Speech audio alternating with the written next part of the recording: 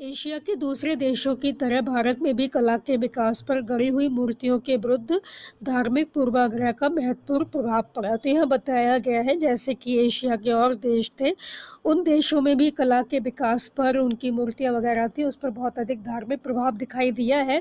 उसी तरह हमारी जो कला है, हमारे जो मूर्तियाँ वगैरह बनी है, उस पर भी बहुत ज़्यादा धार्मिक प्रभाव दिखाई देता है।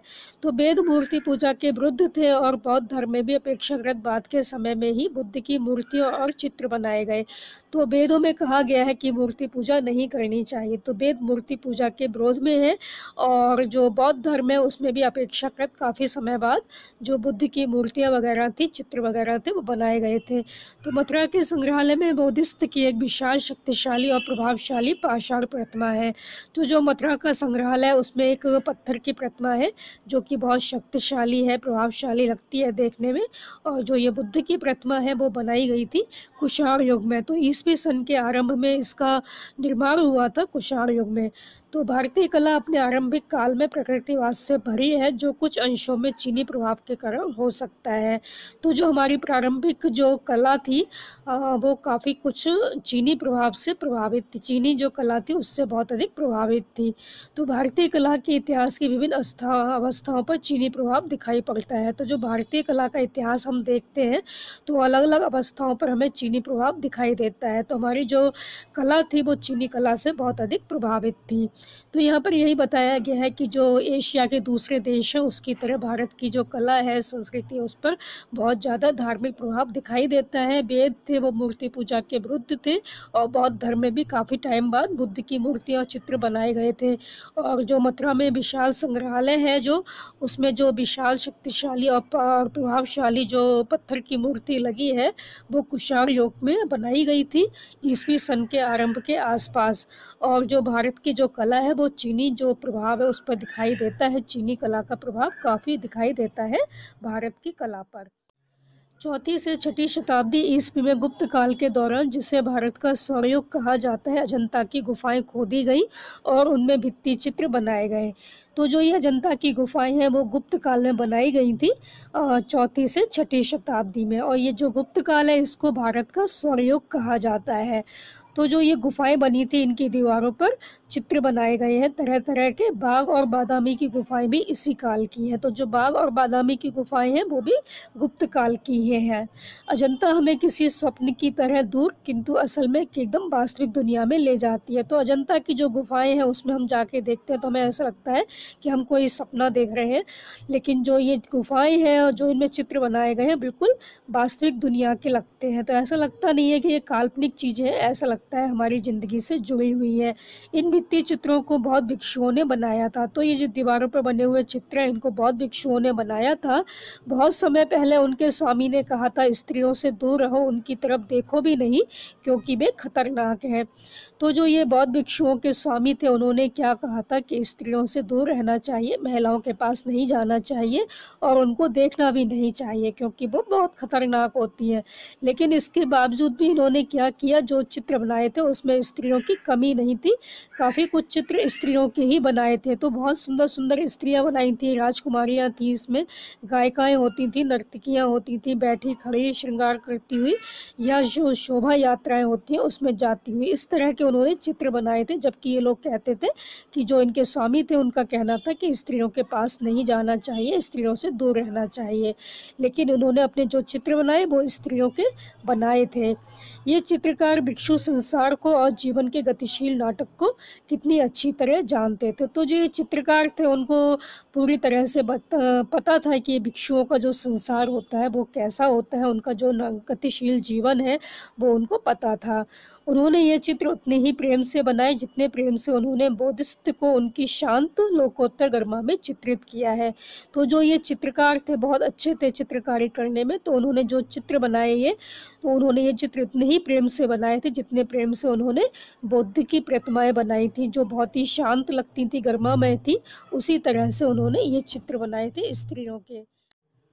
सातवीं आठवीं शताब्दियों में ठोस चट्टान को काटकर एलोरा की विशाल गुफाएँ तैयार हुई जिनके बीच में कैलाश का विशाल मंदिर है। तो सातवीं आठवीं शताब्दी में ठोस चट्टान को काटकर एलोरा की विशाल गुफाएँ बनाई गई थी। इस गुफाओं में क्या है? आ, कैलाश का विशाल मंदिर है। तो चौथी से छठी शताब्दी में अजंता की गुफाएँ बनी थी और सातवीं आठवीं शताब्दी में ठोस चट्टान को काटकर एलोरा की गुफाएँ बनाई गई थी। तो जो ये विशाल मंदिर है हम इसको देखकर कल्पना भी नहीं कर सकते कि मनुष्य ने इसको कैसे बनाया होगा। या हम कह सकते हैं कि मनुष्य ने पहले इसकी कल्पना की होगी, फिर इसको अपना रूप दिया होगा, आकार दिया होगा। तो ये बहुत ही विशाल मंदिर है, बहुत ही सुंदर मंदिर है, कैलाश का मंदिर। तो एलिफेंटा की गुफाएँ भी इसी समय की हैं। तो एलिफेंटा की जो गुफाएँ हैं, वो भी सातवीं, आठवीं शताब्दी की हैं और जहाँ प्रभावशाली और रहस्यमयी त्रिमूर्ति बनी है। तो जो एलिफेंटा की गुफाएँ हैं, उसमें बनी हुई है त्रिमूर्ति और जो एलोरा की गुफाएँ हैं, उसमें बना है कैलाश का विशाल मंदिर। और दक्षिण भारत में महाबलीपुरम की इमारतों का निर्माण भी इसी समय हुआ था। तो जो भारत का साउथ है, दक्षिण भारत है, वहाँ भी जो महाबलीपुरम का इमारत है, वो भी उसका निर्माण भी सातवीं, आठवीं शताब्दी में हुआ था। तो सातवीं, आठवीं शताब्दी में एलोरा की गुफाएँ बनी, एलिफेंटा की गुफाएँ बनी और दक्षिण भारत में महाबलीपुरम की जो इमारत है, वो भी इसी समय बनी थी। एलिफेंटा की गुफाओं में नटराज शिव की एक खंडित मूर्ति है, जिसमें शिव नृत्य की मुद्रा में है। तो एलिफेंटा की गुफा है, उसमें नटराज शिव की एक मूर्ति लगाई गई है, जो कि खंडित है, टूटी हुई है और इसमें दिखाया गया है कि जो शिव जी हैं, वो नाचते हुए दिखाए गए हैं। हैविल का कहना है कि इस छत अवस्था में भी यह मूर्ति भीमाकार शक्ति का मूर्त रूप है और इसकी कल्पना अत्यंत विशाल है। तो हैविल है, उनका कहना है कि जो ये मूर्ति है, हालाँकि छत बछत अवस्था में है टूटी फूटी अवस्था में है, लेकिन फिर भी जो ये मूर्ति है बहुत ही विशाल काय है और एक ऐसा लगता है कोई शक्ति का मूर्त रूप है। और जो इसकी कल्पना जिसने भी किया बनाने की, उसकी कल्पना बहुत ही विस्तृत होगी, बहुत ही विशाल रही होगी। तो ब्रिटिश संग्रहालय में विश्व का सृजन और नाश करते हुए नटराज शिव की एक और मूर्ति है। तो ब्रिटिश संग्रहालय है, उसमें भी एक नटराज की मूर्ति है। नटराज शिव की जो मूर्ति है, वो क्या दिखाया गया है? उसमें दिखाया गया है कि विश्व का उन्होंने सृजन कैसे किया उसका नाश करते हुए दिखाया गया है। एप्स्टीन ने लिखा है कि उनकी विशाल ल्यात्मकता काल के विराट युगों का आह्वान करती है। तो यहाँ पर जो एप्स्टीन है, उन्होंने क्या लिखा था कि जो ये मूर्ति बनाई गई है तो उस समय का जो युग था, उस समय की जो विशालता थी, उसको दिखाया गया है कि उस समय का जो युग था, अपने समय का कितना भव्य युग था, वो कितना विशाल युग था, जो इसमें इतनी अच्छी अच्छी कलाकारी की गई थी, इतनी अच्छी मूर्तियाँ बनाई गई थी। जावा में बोरोबदूर से बौद्धिस्त का एक सर कॉपेन हैंगन के गिल पटोटेक ले जाया गया। रूपगत सौंदर्य की दृष्टि से तो यह सर सुंदर है ही। इसमें कुछ और गहरी बात है जो बौद्धिस्त की शुद्ध आत्मा को इस तरह उद्घाटित करती है, जैसे दर्पण में प्रतिबिंब है। एक ऐसा चेहरा है जिसमें समुद्र की गहराइयों की प्रशांति, द्रव्य नीले आकाश की स्वच्छता और इंसानी पहुँच से परे का परम सौंदर्य मूर्तवान हुआ है। तो यहाँ पर क्या बताया गया है कि जो जावा में बोरोबदूर है, वहाँ से एक बौद्धिस्त का सर था, वो कॉपेन हैंगन से गिल पटोटेक ले जाया गया। तो जो ये सर था देखने में बहुत सुंदर है, लेकिन इसमें कुछ गहराई भी है, कुछ गहरी बात भी छिपी हुई है। वो क्या है कि इसको देखकर जो बौद्धिस्ट हैं, उनकी शुद्ध आत्मा के दर्शन हो जाते हैं। इस सर को देख के हमें पता चलता है, जो बौद्ध लोग थे, उनकी आत्मा कितनी शुद्ध थी, कितनी पवित्र थी।